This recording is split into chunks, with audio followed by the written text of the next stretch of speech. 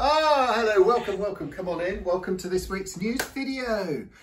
We had an amazing Pentecost Sunday, didn't we, just a few days ago, uh, just last week. What an amazing time in the morning with all those uh, baptisms and then the French Connect service and celebrations in the afternoon. What an amazing thing. Thank you to everybody who took part, everybody who came. A celebration of the Spirit's power and those baptisms in the morning. And actually this coming Sunday, we're going to be having more baptisms. It's the season of baptisms, which is absolutely appropriate because when Pentecost happened 2,000 years ago, there were baptisms. 3,000 people believed and followed Jesus and were baptized on that particular day.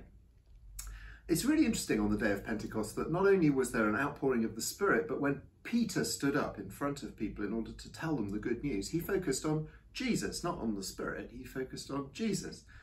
And uh, it's not surprising that when we start talking about the Spirit and the Spirit who sends us out on mission, we find ourselves very quickly talking about Jesus and about um, the Father that we're called to love.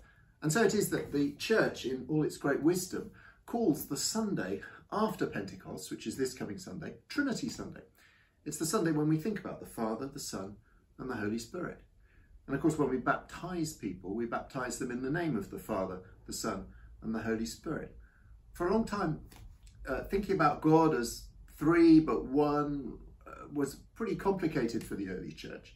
Uh, about as complicated, I suppose, as a two-dimensional creature trying to think in three dimensions, or me trying to think intelligent thoughts before I got out of bed.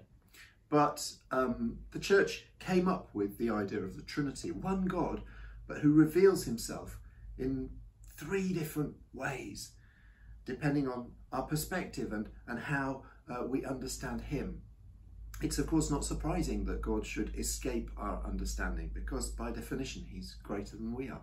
So this Sunday, we are going to be reflecting on uh, this amazing God that we worship, Father, Son, and Holy Spirit, who calls us to trust in Him. And we celebrate that through baptism, but who also calls us all to be um, missionaries to be sent out into his world in order to make disciples um, in the final words of Jesus. So we'll be looking at the end of Matthew's Gospel where Jesus says, All authority in heaven and earth has been given to me, therefore go and make disciples of all nations. What an amazing thing.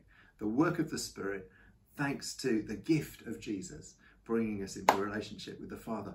God, three in one. Amazing. So join us this weekend and uh, at all our services 1 2 3 4 9 o'clock 10.30 uh, 5 o'clock and 7 and let's celebrate god's goodness and uh, everything that he wants to do as he sends us out into the world to be witnesses to his power and glory and love and joy and peace and all the rest. What an amazing thing. Have a great day. See you soon